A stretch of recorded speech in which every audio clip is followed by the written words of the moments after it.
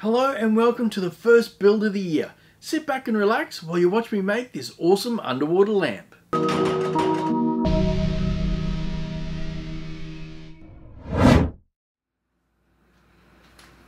So the first step in creating this lamp is to make myself a mould using these pieces of acrylic.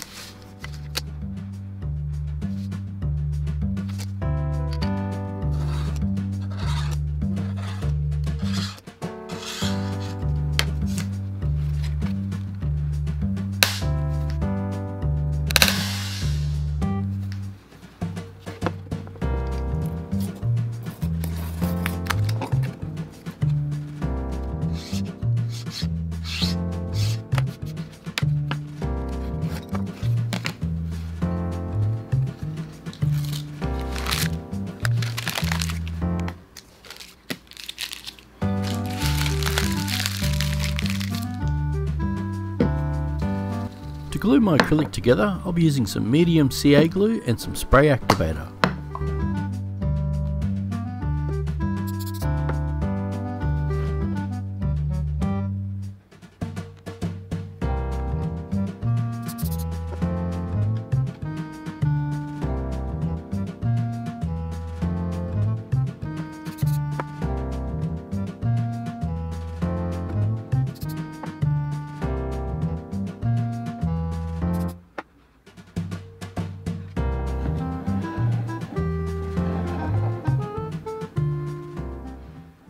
So now that I have my mould all finished, it's time to get my wood ready. Now I'll be using some Australian Mallee burl, and I just need to cut it to size so it fits in the mould, and then I'll stabilise it in the vacuum chamber.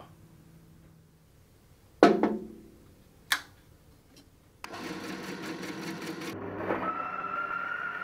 think it's nearly time to replace my bandsaw blade. That squealing's getting louder.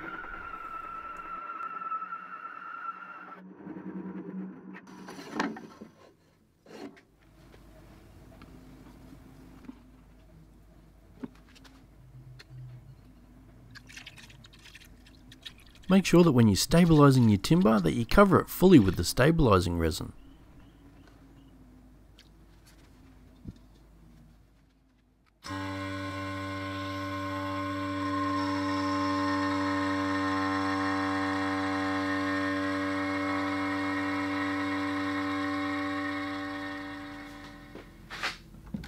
Now that I have my burl curing in the oven, it's time to print my diver.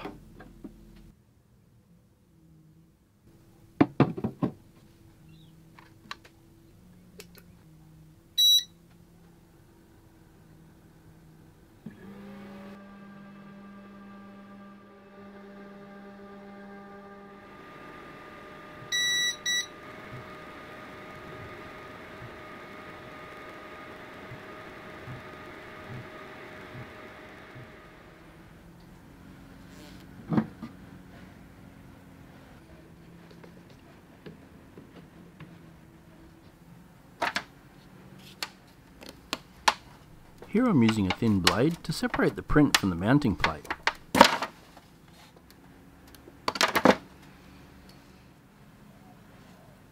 Now I'm going to wash off the excess resin in the ultrasonic cleaner.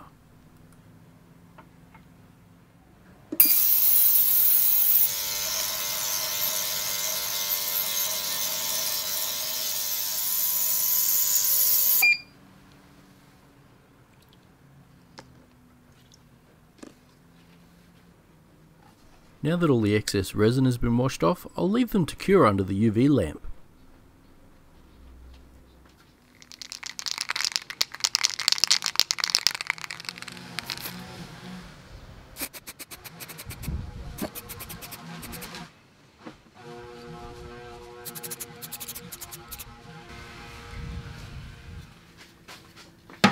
While my diver's outside drying, I can continue work on my burl.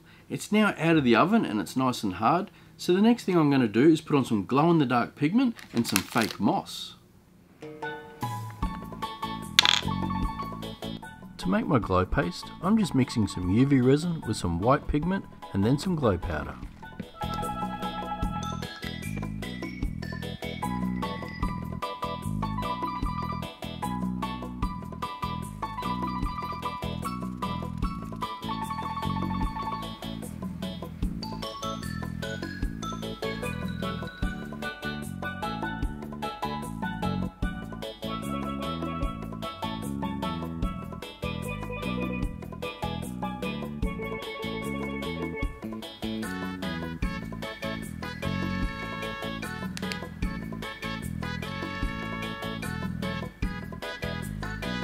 For those of you who are a member of the Worx Mates, you would have already seen this sneak peek, but for those of you who haven't, here it is. Check out how good this glows. Now if you guys want to see sneak peeks like this, you can become one of my channel members. I'll leave a link in the description of how you can do it.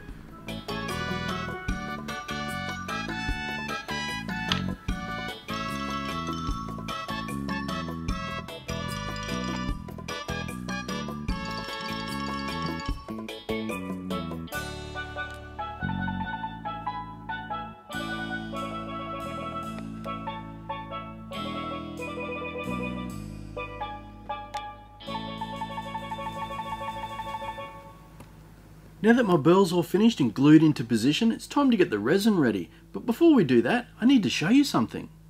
Do you remember when I introduced this massive pressure pot to the channel and I asked you guys to name it for me? Well, here it is. Meet Freddy.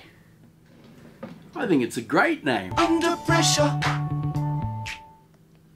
So now that you've all met Freddy, it's time to get our resin ready.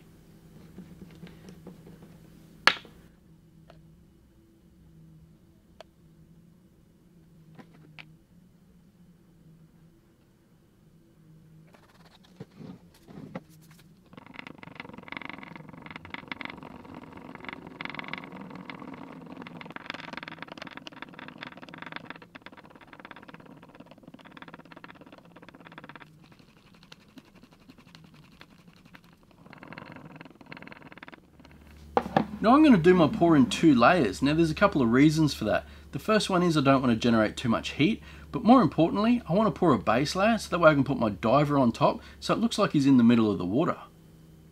I'm also going to try something I've never done before, and that's a multicolour pour. I'm going to put some blue alcohol ink in these cups, but I'm going to put more in one than the other, and hopefully I can get it to transition and look a bit darker down the bottom than at the top.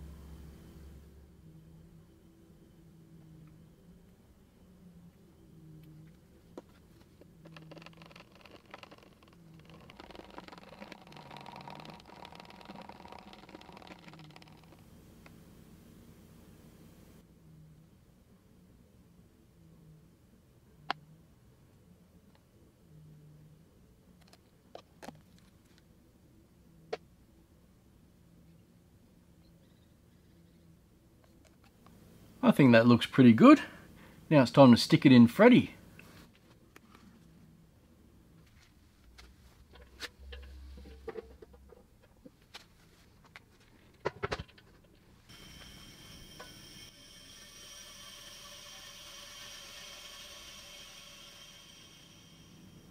So now that the base layer is set, it's time to put the diver on. Now originally I was going to glue the diver down with some UV resin, but I've since changed my mind.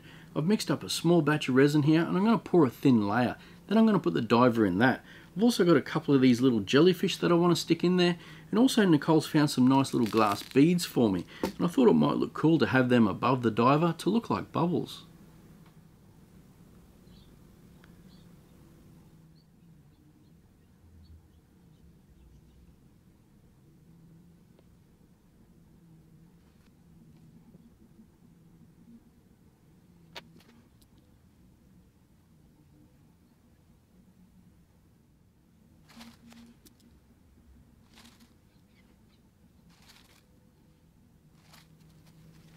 Now we'll just leave this to cure and once it does we can put on our top layer.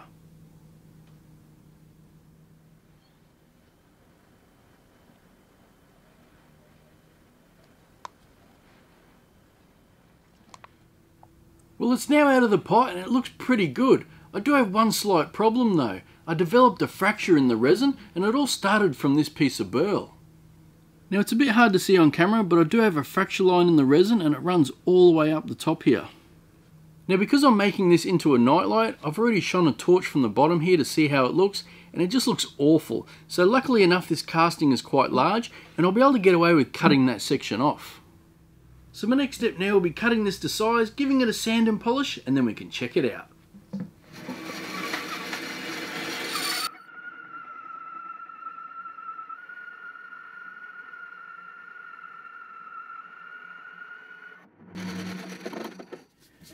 I won't be throwing this piece away. I'm sure I can make something with it.